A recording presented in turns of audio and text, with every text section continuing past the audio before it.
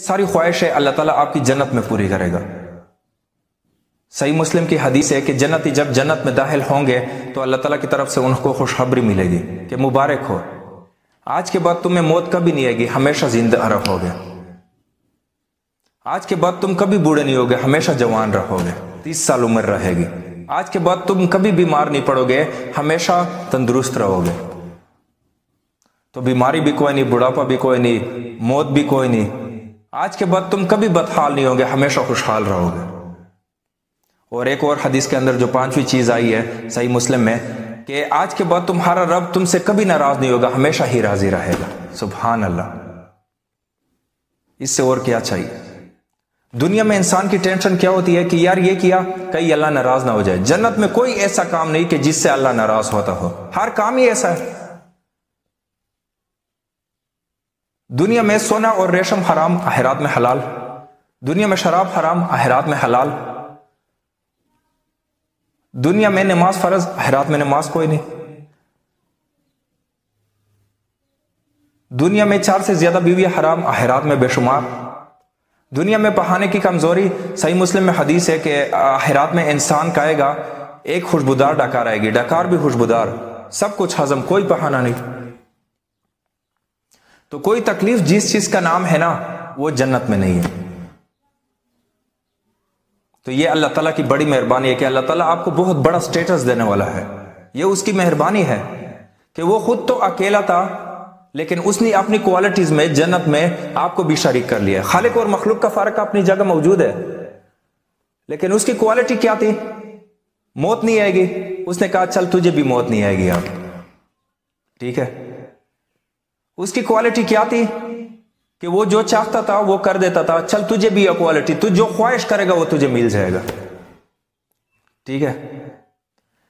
लेकिन हम ये सोचते हैं कि यार ये अल्लाह ने मुझे अपने मर्ज़ी के बगैर पैदा करके मुझे कितनी बड़ी आफत में डाल दिया है। मैं उस खुदा से मोहब्बत कैसे करूँ? मैं अपने आप को सेटिस्फाइड कैसे करूँ?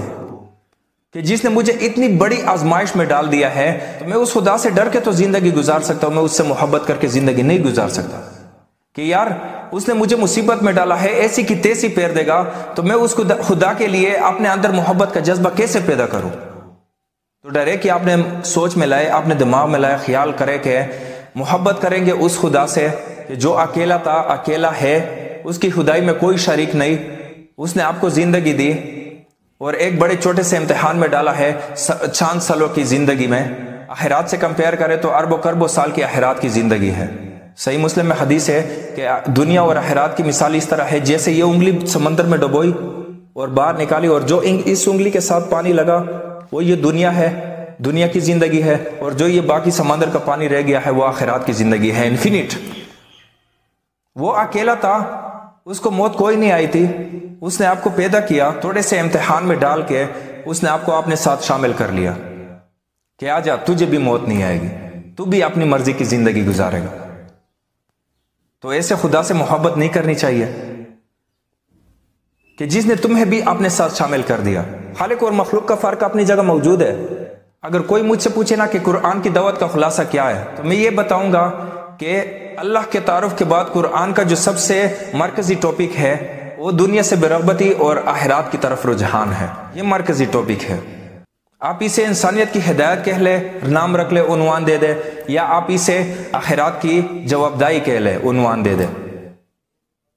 कुरान का जो टॉपिक है, कुरान अकीदे में तोहीद पे बोलता है, और अमाल में यही कहता है कि ये दुनिया आर्जी है, असल हकीकत हैरात है, तैयारी करो और उधर जाके आपको रहना है। यही टॉपिक है। हमेशा रहना है वहाँ पर।